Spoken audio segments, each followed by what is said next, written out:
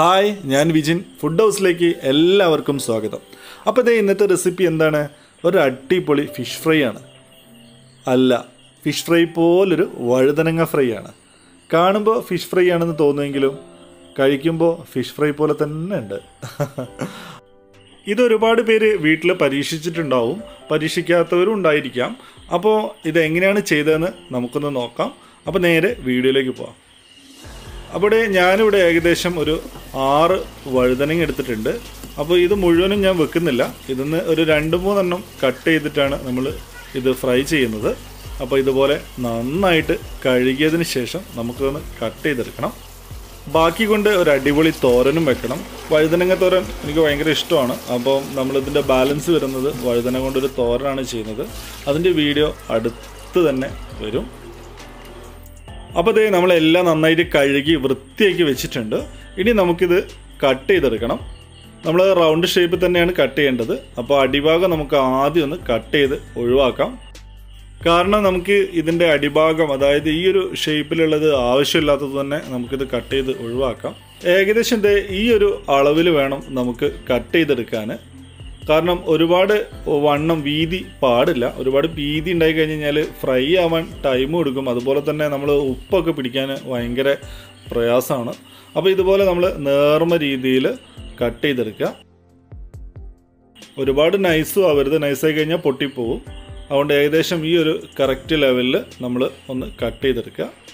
ഒരു മൂന്ന് വഴുതനങ്ങ ഈ ഒരു വലുപ്പത്തിലുള്ള മൂന്ന് വഴുതനങ്ങ ഉണ്ടെങ്കിൽ ഏകദേശം ഒരു പത്ത് പന്ത്രണ്ട് കഷ്ണം നമുക്ക് ഫ്രൈ ചെയ്യാൻ പറ്റും. ഇനി ഇതേ നമ്മൾ ഇതുപോലെ ഒരു ഫോർക്ക് ഉപയോഗിച്ചിട്ട് ഒന്ന് കുത്തി കൊടുക്കുക. കാരണം എന്താണെന്ന് വെച്ചാൽ നമ്മുടെ മസാലയൊക്കെ പുരട്ടുന്ന സമയത്ത് ആ മസാലയൊക്കെ ഇതിന്റെ ഉള്ളിലേക്ക് നന്നായിട്ടൊന്ന് പിടിക്കാൻ വേണ്ടിയിട്ടാണ്. നിങ്ങൾക്ക് ഫോർക്കില്ലെങ്കിൽ എന്തെങ്കിലും ഉപയോഗിച്ചിട്ട് നിങ്ങൾക്ക് ഇങ്ങനെ ജസ്റ്റ് ഒന്ന് ഒരു ഹോൾസ് പോലെ ഒന്ന് ഇട്ട് കൊടുക്കാം. അത് നല്ലതാണ്. നമ്മുടെ ആ മസാലയൊക്കെ ഇതിന്റെ ഉള്ളിലേക്ക് വഴുന്നരങ്ങയുടെ ഉള്ളിലേക്ക് ഇറങ്ങിച്ചെന്ന് നമുക്ക് കഴിക്കുമ്പോൾ അതെല്ലാം നല്ലൊരു ഫ്ലേവറായിട്ട് വരും. അതിന് വേണ്ടിയിട്ടാണ്. അപ്പോൾ ഞാനിവിടെ എല്ലാം ഇതുപോലെ ഒന്ന് ഹോൾസ് ചെയ്ത് ഇട്ട് വെച്ചിട്ടുണ്ട്. ഇനി നമുക്കൊരു മസാല തയ്യാറാക്കണം. അതിനായിട്ടൊരു ബൗൾ എടുക്കുക. അതിലേക്ക് ഞാനിവിടെ എടുത്തത് കാശ്മീരി മുളക് പൊടിയാണ്. ഏകദേശം രണ്ടര ടേബിൾ സ്പൂണ് കാശ്മീരി മുളക് പൊടി എടുത്തിട്ടുണ്ട്. മുക്കാൽ ടീസ്പൂണ് കുരുമുളക് പൊടി. അതുപോലെ കോൺഫ്ലവർ ആണ് ഒന്നര ടേബിൾ സ്പൂണ് അര ടീസ്പൂണ് മഞ്ഞൾപ്പൊടി. ഇഞ്ചി വെളുത്തുള്ളി രണ്ട് ടേബിൾ സ്പൂണ് ഒരു നാരങ്ങയുടെ നീരാണത്. ഇനി നമുക്കിതിൽ എല്ലാം കൂടി നന്നായിട്ടൊന്ന് മിക്സ് ചെയ്തെടുക്കണം. ഒരു മസാല രൂപത്തിലേക്ക് ഒരു അധികം വെള്ളം ചേർക്കാത്ത രീതിയിൽ ഒന്ന് കുഴച്ചെടുക്കണം. അല്പം ഉപ്പിടണം. ഉപ്പിടാൻ മറന്നുപോയി. അപ്പോൾ കുറച്ച് ഉപ്പിട്ടതിന് ശേഷം കുറച്ച് വെള്ളം ആഡ് ചെയ്തിട്ട് നമുക്കിതൊന്ന് മസാല ഒന്ന് കുഴച്ചെടുക്കാം. ഇതൊരുപാട് ലൂസാവാൻ പാടില്ല. ഒരുപാട് ലൂസായി കഴിഞ്ഞ് കഴിഞ്ഞാൽ നമുക്കിത് നമ്മളെ വഴുതനങ്ങയിൽ പിടിക്കില്ല. ഈ ഒരു പാകം മതി. ഇനി നമുക്ക് വഴുതനങ്ങ എടുത്തിട്ട് അതിന്റെ മോൾ ഭാഗത്ത് ഇതൊന്ന് തേച്ച് പിടിപ്പിച്ചു കൊടുക്കാം. ഈ മസാല ഒന്ന് തേച്ച് പിടിപ്പിച്ചു കൊടുക്കാം. ഇതുപോലെ നമുക്ക് മസാല രണ്ട് ഭാഗത്തും നന്നായിട്ട് തേച്ച് പിടിപ്പിച്ചു കൊടുക്കുക. മസാലയൊക്കെ തേച്ച് പിടിപ്പിച്ചതിന് ശേഷം ഒരു അരമണിക്കൂർ മിനിമം അരമണിക്കൂറെങ്കിലും നമ്മളിതൊന്ന് പുറത്ത് വെച്ച് കൊടുത്തു കഴിഞ്ഞാൽ ആ മസാലയൊക്കെ നന്നായിട്ട് നമ്മുടെ വഴുതനങ്ങയിൽ ഒന്ന് പിടിച്ച് കിട്ടും. അപ്പോൾ ഇത് അരമണിക്കൂർ കഴിഞ്ഞിട്ടുണ്ട്. അരമണിക്കൂറിന് ശേഷം നമ്മളിത് ഫ്രൈ ചെയ്യാൻ പോവാണ്. ഒരു കടായി എടുക്കുക.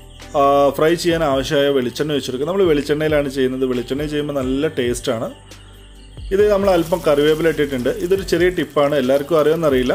ഇതിട്ട് കഴിഞ്ഞാൽ ഇതുപോലെ ഫ്രൈ ചെയ്യുന്ന സമയത്ത് ഈ മസാലകൾ സ്പ്രെഡ് ആവാതിരിക്കുന്നതാണ് കേട്ടത്. എനിക്ക് അനുഭവമുണ്ട്. അങ്ങനെ ആയിട്ടുമില്ല.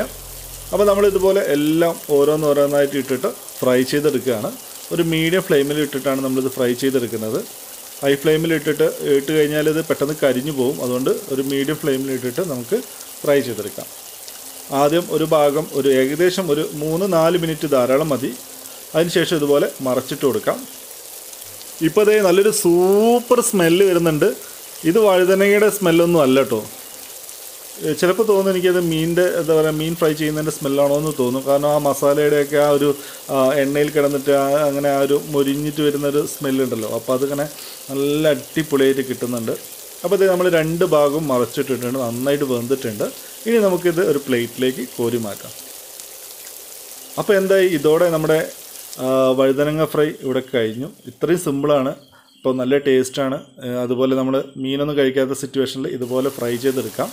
ഇനി ബാക്കി വന്ന ഓയിലിൽ കുറച്ച് കറിവേപ്പിലയും ഇതുപോലെ പച്ചമുളകും നീളത്തിൽ അരിഞ്ഞിട്ട് കൊടുത്തിട്ട് ഇതുപോലെ ഇതിന്റെ മുകളിൽ നമുക്ക് ഒരു ഷോക്കി ഒരു ലുക്കിന് വേണ്ടിയിട്ട് ഇട്ട് കൊടുക്കാം.